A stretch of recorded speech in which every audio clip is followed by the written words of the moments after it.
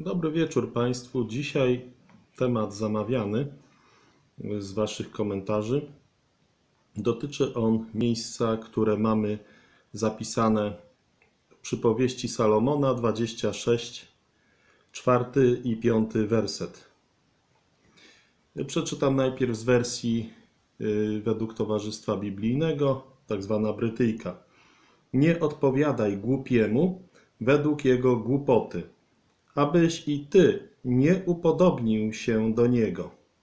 Odpowiedz głupiemu według jego głupoty, aby się nie uważał za mądrego. Y, Ten fragment jest powtórzony w Nowym Testamencie w Tytusa trzeci rozdział, dziewiąty i dziesiąty werset. Więc ma on swoją wersję przytoczoną przez apostoła Pawła. Może najpierw krótki komentarz co do słowa kluczowego, jakim jest tutaj słowo głupi.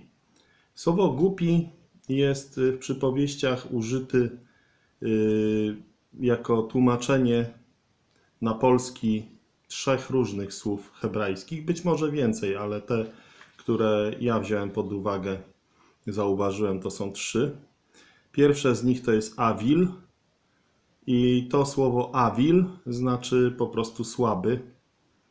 Mamy wtedy taką osobę, która jest głupia w pewnym sensie częściowo ze swojej winy, ale to wynika z jej słabości, ta głupota. Czyli ma braki intelektualne. Jest to osoba, która być może zaniedbała edukację, jak była młoda. Być może ktoś ją uczynił nałogowym pijakiem, albo sama uczyniła się narkomanem i teraz ma kłopoty z kontaktowaniem. Tego typu osobnik, awil, słaby. Drugie słowo to jest kesil. Kesil to jest słowo, które jest spokrewnione z takimi określeniami jak gruboskórny, kesil, gruboskórny, tępy, tępy, odporny naprawdę. To jest taki człowiek zatwardzający się na y, argumenty, nie przyjmujący argumentów, y, nieważne, czy pochodzące z randomowego źródła, tak jak o mnie ktoś powiedział, nie będzie mnie o Słowie Bożym uczył jakiś randomowy koleś z YouTube'a.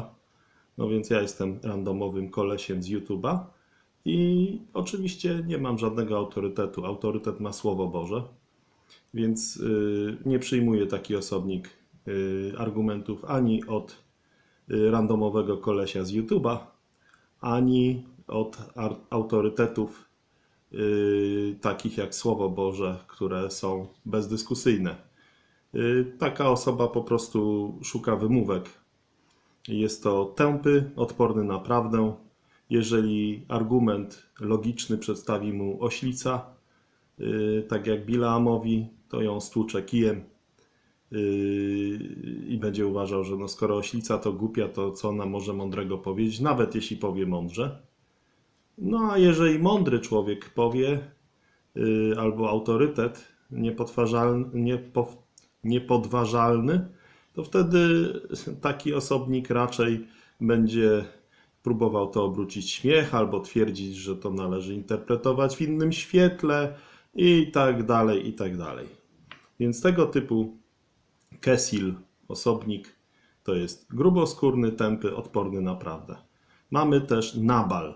Nabal, trzecie słowo określające głupca, to jest taki zaciemniały osobnik, wulgarny, zły człowiek, oddający się złu. No i to niestety jest każdy z nas przed narodzeniem na nowo. Każdy, kto na własną drogę zboczył, jest nabalem. Naturalny, nieodrodzony, w ciemności, z zaciemnionym umysłem. Czyli jeśli mamy do czynienia z osobnikiem, który jest nienarodzony na nowo, to jest właśnie odpowiednik Nabal, najlepiej określający go. Czyli Awil, Kesil, Nabal. I w tym miejscu, czyli w przypowieściach 26, wersety 4 i 5, jest słowo Kesil. które ma numer Stronga 3684. To słowo kesil, jak już mówiliśmy, gruboskórny, tępy, odporny na prawdę. Teraz zrobię przegląd kilku przekładów, które nam y, po prostu y, pozwolą lepiej zrozumieć ten fragment. Jest to w kilku przekładach. Teraz przeczytam z takiego katolickiego przekładu edycja paulińska 26:4-5. Nie odpowiadaj głupcowi według jego głupoty, abyś się nie upodobnił do niego. Odpowiedz głupcowi według jego głupoty, aby nie wydawało mu się, że jest mądry. Czyli dokładnie podobny wyraz jak w Brytyjce. Teraz przekład ekumeniczny.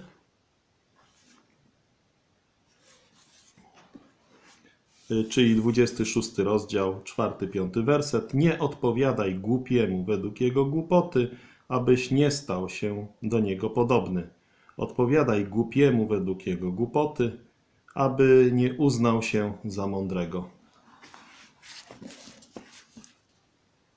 Więc w tym ujęciu yy, generalna zasada jest taka: jeśli nie chcesz być głupi, to uwierz Pana Jezusa, będziesz zbawiony, a staniesz się mądry.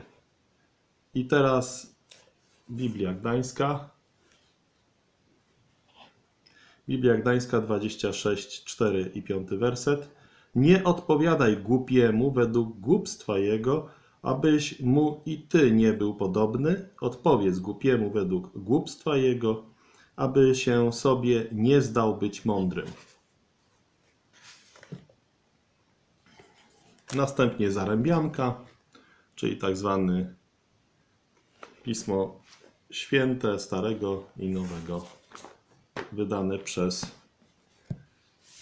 Ewangeliczny Instytut Biblijny. Jest to przykład dwuosobowy Anny Haning i Piotra Zaręby. Dominującą część tłumaczył Piotr Zaręba, dlatego Zarębianka. 26:4-5 Nie odpowiadaj głupiemu według jego głupoty, abyś równym jemu nie stał się i ty. Odpowiedz głupiemu według jego głupoty, aby nie uznał, że jednak jest mądry. To, że cytuję z któregoś przekładu, wcale nie znaczy, że uważam go za rekomendowany. Jedyne rekomendowane przekłady, które ja y, tutaj Państwu y, zalecam, to jest Biblia Brzeska, Biblia Gdańska, uwspółcześniona Biblia Gdańska, zrewidowana Biblia Gdańska. I jeszcze mamy Biblię Warszawską, która jest jedynym ekumenicznym przekładem współczesnym, który mogę zarekomendować, czyli tak zwana Brytyjka. I teraz 26 rozdział przysłów z UBG, z uspółcześnionej Biblii Gdańskiej. Nie odpowiadaj głupiemu według jego głupoty, abyś i ty nie był do niego podobny. Odpowiedz głupiemu według jego głupoty, aby nie był mądry we własnych oczach. Czyli podobna wymowa jak poprzednich przekładów. I z polskich przekładów ostatni to jest Biblia Brzeska. Moim zdaniem najdokładniej i najjaśniej wyraża o co tu chodzi i moje wytłumaczenie będzie szło w tym kierunku, w jakim tu mamy. Czyli nie swarz się z szalonym wedle szaleństwa jego, abyś nie był przyrównan jemu. Każ szalonego z szaleństwa jego, aby się snać sam sobie mądrym nie zdał. Więc tutaj widzimy jednoznacznie. Po pierwsze, nie kłóć się. Nie kłóć się. Po prostu zasada sztywna. Nie kłóć się. Nie zajmuj się tym, co ten szalony ma do powiedzenia. Nie swarz się to jest właśnie słowo na współczesny język polski. Nie kłóć się. Nie kłóć się z głupim wedle głupstwa jego, abyś nie był przyrównany jemu. Szalony, tak? Czyli Tępy, gruboskórny, odporny na prawdę. Szaleństwo. Szaleni giną. I no, wiemy ze Słowa Bożego, że najlepszym lekarstwem na głupiego są rany zadane do krwi. Oczyszczają głupiego y, krwawe rany. I to możemy wielokrotnie zobaczyć w Słowie Bożym. I tutaj jest piąty werset. Każ szalonego z szaleństwa jego, aby się snać sam sobie mądrym nie zdał. Więc mamy do czynienia z osobnikiem, który jest chętny do przeciwstawiania się prawdzie, odporny na prawdę, tępy, gruboskórny i nie kłóćmy się z nim. To nie jest nasza rola. Po prostu jeśli zobaczymy, że to jest człowiek, który jest odporny na prawdę, tępy, gruboskórny, po prostu przedstawiliśmy mu fakty i uprzejmie podziękujmy za poświęcony nam czas. Y, życzmy wszystkiego najlepszego, jeżeli jest taka możliwość. Oddajcie takiego szatanowi na zatracenie ciała no bo jeżeli on nie chce y, przybliżyć się do prawdy, to wszędzie poza prawdą jest fałsz, czyli jest w, w dziele, w rękach szatana taki człowiek. To nie chodzi o to, że ty go jakoś gdzieś wysyłasz, on po prostu już w tym fałszu trwa i w tym fałszu jest zanurzony. I po prostu nie przyciągaj go już na siłę do prawdy, nie sważ się z nim, nie kłóć się. On wybrał i trzeba ten wybór szanować. I teraz nie sważ się z szalonym wedle szaleństwa jego, abyś nie był przyrównan jemu. Dokładnie, jak pamiętamy, apostoł Paweł, jak zeznawał, to powiedział: Nie przyłapali mnie na sporze z kimkolwiek. Na sporze, na kłótni. Nie przyłapali go. Mógł tego użyć, bo jeżeli ktoś obserwuje Twoją awanturę z głupim, to nie wie, czy to ty jesteś, czy on jest winny temu. Do kłótni trzeba dwóch. Jeżeli dochodzi do kłótni, to do kłótni trzeba dwóch. A Słowo Boże mówi dla chrześcijan: Wszystkim niech znana będzie wasza łagodność. I Pan blisko. Mamy o tym napisane w liście do Filipian, czwarty rozdział. Wszystkim, nie tylko przyjaciołom ma być znana Twoja łagodność, ale wszystkim ma być znana Twoja łagodność. Y, nie tylko w niedzielę na zgromadzeniu ma być znana wszystkim Twoja łagodność, ale Twoja łagodność ma być znana wszystkim wszędzie. I to jest bardzo wymagające i bardzo trudne. Łagodny język łamie kości. I na pewno każdy z nas, zwłaszcza ja, nieraz złamałem tą zasadę. I bardzo żałuję każdego razu, kiedy dałem się sprowokować, bo wtedy Słowo Boże mówi, Słowo Boże mówi, że jestem przyrównan temu szalonemu. Do dwóch idiotów się dobrało i się okładają argumentami. Nie ma to najmniejszego sensu. Jeżeli widzisz, że masz do czynienia z tępym, odpornym, naprawdę gruboskórnym yy, osobnikiem, kesil, daj spokój, odpuść sobie. I tego uczy nas czwarty werset. Niestety, Czasami jest sytuacja taka, że ten Kesil jest Twoim podwładnym, albo jesteś na odpowiedzialnym stanowisku i tu nie ma równych stanowisk, tylko masz władzę nad tym Kesil, nad tym głupim, nad tym szalonym, nad tym tępym, odpornym naprawdę osobnikiem gruboskórnym. Może to jest Twój syn, może to jest Twój podwładny w pracy, może to jest Twoja córka, może to jest y, Twój uczeń w szkole. No to wtedy jest piąty werset. Każ szalonego z szaleństwa jego, aby się snać sam sobie mądrym nie zdał. To nie są y, równoległe sytuacje. Jeżeli y, jest poziom równy, czyli równy z równym, wtedy może być awantura i ty masz z tej awantury zrezygnować wtedy może być kłótnia i ty z tej kłótni rezygnujesz. Ale jest też sytuacja, kiedy jest brak równości. Ty jesteś nad tym głupim. Ty masz władzę, odpowiadasz za porządek. Ty masz władzę nad tym głupim. Jako nauczyciel, jako przełożony w pracy, jako y, ojciec, jako matka. I wtedy takiego Kesil masz ukarać, bo jesteś zobowiązany do tego. Każ głupiego według głupoty jego.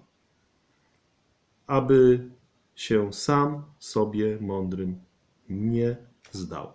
Jesteś autorytetem i masz obowiązek karać zło. Głupota jest złem pochodzącym z serca człowieka. I tak jak mówiłem, ten werset jest przytoczony w Nowym Testamencie. Oczywiście ten przekład nowotestamentowy y, jest y, przez Ducha Świętego przytoczony taki, jaki ma być i jak ma brzmieć dokładnie jeden do jeden według myśli Bożych na czas Nowego Testamentu. To jest Tytusa, trzeci rozdział, dziewiąty od dziesiątego wersetu. A głupich rozpraw i rodowodów i sporów i kłótni o prawo albo o zakon unikaj. Są bowiem nieużyteczne i próżne. A człowieka, który wywołuje odszczepieństwo, po pierwszym i drugim upomnieniu unikaj. W kościele nie mamy możliwości kogoś ukarać, zbić, spalić na stosie, wypatorzyć, y, łamać kołem. Nie. Nie ma takiej władzy, nie ma też takiej potrzeby. Natomiast możemy go unikać. I to jest kara, jaką stosujemy w stosunku do takiego kesil. Czyli jeżeli widzimy osobnika, który się spiera o rodowody, czyli próbuje na przykład sprawdzać, czy ty w trzecim pokoleniu jesteś Cyganem, albo Żydem, albo Chińczykiem, albo Marsjaninem, albo repty, reptilianinem, czy nie wiem, kim jeszcze mógłbyś być, to tego typu osobnika po prostu masz y, tutaj unikać, tak? A głupich y, kłótni unikaj. Unikaj tych kłótni, takich głupich tematów. Czy y, na przykład masz jakiegoś kolesia, który jest antyszczepionkowcem? Unikaj. Albo jest zwolennikiem jakiegoś typu lekarstw. Uważa, że jakieś homeopatyczne bzdury Y, są ważne na tyle, żeby na gruncie chrześcijańskim się do tego odnosić. Unikaj. Albo tutaj mamy spory i kłótnie o prawo. No przecież wiadomo, że prawo, w ogóle chrześcijanie nie są pod prawem, nigdy nie byli pod prawem. I nagle ktoś wyskakuje i zaczyna się o zakon y, kłócić. Czy na przykład y, słuszne jest, żebyśmy na, w środę Y, mieli zgromadzenie o 18, skoro wiadomo, że człowiek 6 dni robić ma, a więc zaczyna od 6 rano do 18, to na 18 nie zdąży na zgromadzenie, prawda, bo musi pracować. Y, no, jest to typowy bełkot o zakon. Bełkot taki zupełnie bez sensu, bo chrześcijanie nie są pod zakonem, mogą mieć pracę, w której pracują jeden dzień w tygodniu, jeden dzień w miesiącu, jeśli są ekspertami, jeden dzień w roku. Ktoś może być biegłym rewidentem i uczy się intensywnie, nabiera uprawnień, i potem badanie ksiąg ma zintensyfikowane w pierwszych dwóch miesiącach roku. Jeżeli nie jest łapczywy na kasę, może mieć 12 miesięcy podzielone w ten sposób, że dwa miesiące pracuje, a 10 miesięcy ma wakacje za te zarobione pieniądze, nic nie robi takiego zawodowego, tylko może się oddać ewangelizacji, może pracować dla Pana Jezusa. I tego typu osobnik jest całkowicie przez zakon potępiony, bo zakon mówi 6 dni robić będziesz i masz y, wstać y, do pracy na tyle, żeby już o 6 rano być w pracy, i kończysz pracę o 18. Żadnego lenienia się, żadnego siusiu po drodze i żadnych kanapek, żadnego, żadnej przerwy na papierosa, żadnych tego typu rzeczy. I pracujesz 6 dni w tygodniu według zakonu, czyli od niedzieli do piątku. bez żadnych szczególnych przerw. Więc jeżeli byś chciał taki zakon prowadzić, no to sześć dni robić będziesz. Dni, a noce są od spania. Więc jak masz takiego wariata, który właśnie jest tępy, odporny na prawdę i gruboskórny i próbuje to na grunt chrześcijański przenieść, gdzie wiemy, że chrześcijanie nigdy nie byli pod zakonem, nie są pod zakonem, nie muszą trzy razy w ciągu roku chodzić z pierwocinami do świątyni jerozolimskiej, bo zakon tego wymagał. Jeżeli nie jesteś w stanie najmniejszej rzeczy zrobić, to nie jesteś w stanie niczego zrobić. I teraz, jeżeli mamy głupie rozprawy i rodowody i spory i kłótnie o zakon, mamy tego unikać. Są bowiem nieużyteczne i próżne. Próżne, czyli puste, nieużyteczne, czyli nie ma z nich żadnego pożytku. A człowieka, który jednak te rzeczy ciągle, ciągle wraca do nich, tak? Ciągle y, dyskutuje, wywołuje rozłamy na tej podstawie, odszczepieństwo po pierwszym i drugim upomnieniu unikaj. Masz po prostu takiego człowieka, jak go złapiesz y, na tego typu działaniach, unikać. Nie jesteś od tego, żeby go wykluczać ze zboru, jak Diotrefes, nie. Jeżeli to jest człowiek, który Y, jest bratem w Panu, jest narodzony na nowo, jest chrześcijaninem, ale y, mu się zdarzyło to, że wpadł w jakąś kolejnę typu jakiś ruch antyszczepionkowy, albo różdżkarstwo, albo jakieś takie y, nosi dziwne czapki. Nie wiem, co tam może jeszcze być. I próbuje na siłę innych tym zarazić Y, no to wtedy masz do czynienia właśnie z człowiekiem, którego po pierwszym i drugim razie unikaj. Oczywiście, jeżeli on będzie trwał w tej głupocie dalej, y, no to za chwilę drugi brat się y, będzie unikał go, trzeci, czwarty, szósty.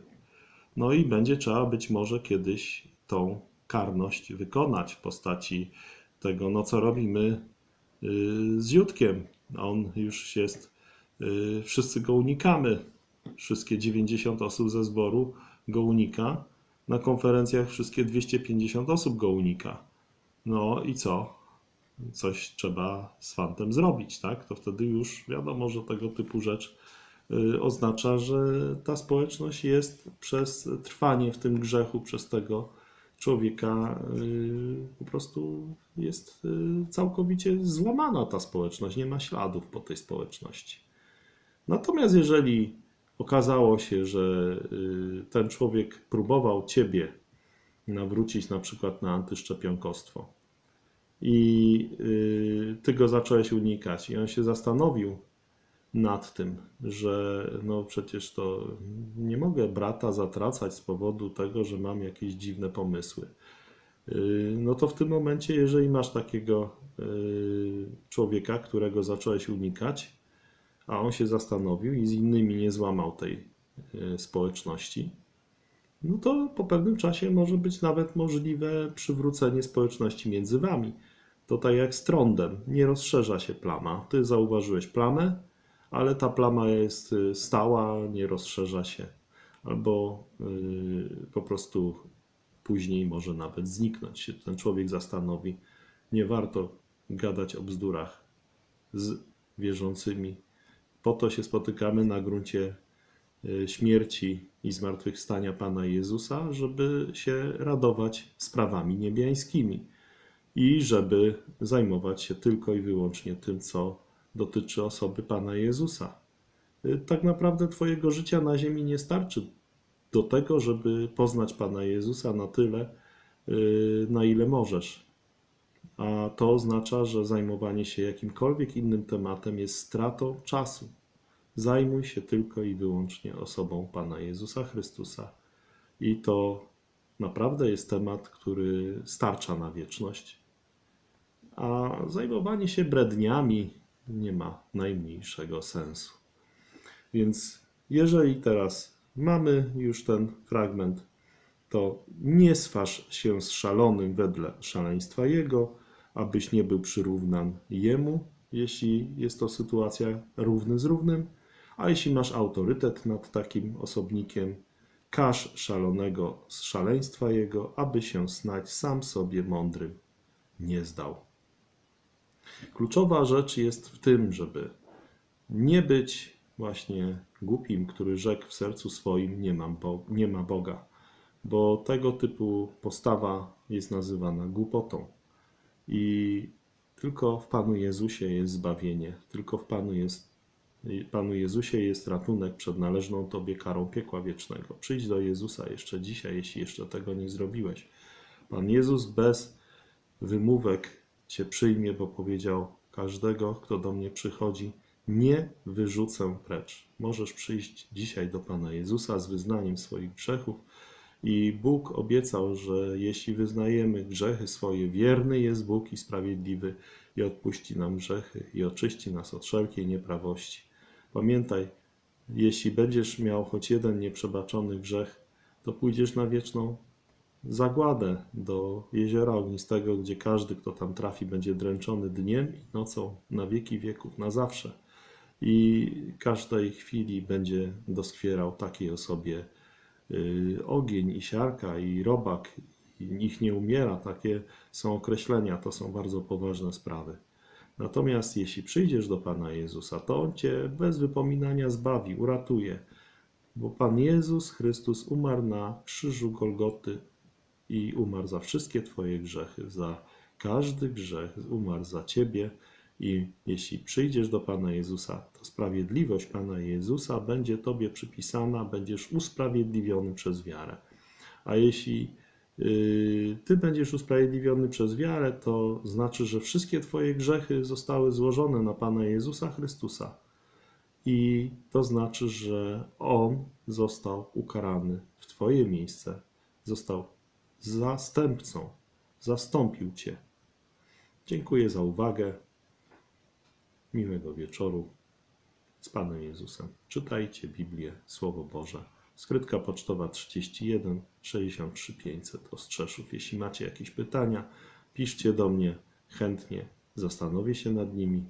Jeśli będzie to materiał na odcinek, to go chętnie nagram. Jeśli będzie to coś, co mogę odpisać szybciej, to chętnie odpiszę. I jeśli nie macie Nowego Testamentu, chętnie się podzielę. Proszę wysłać SMS-a na numer 739 089 088 lub napisać na ten adres, który podałem wcześniej. Z Bogiem.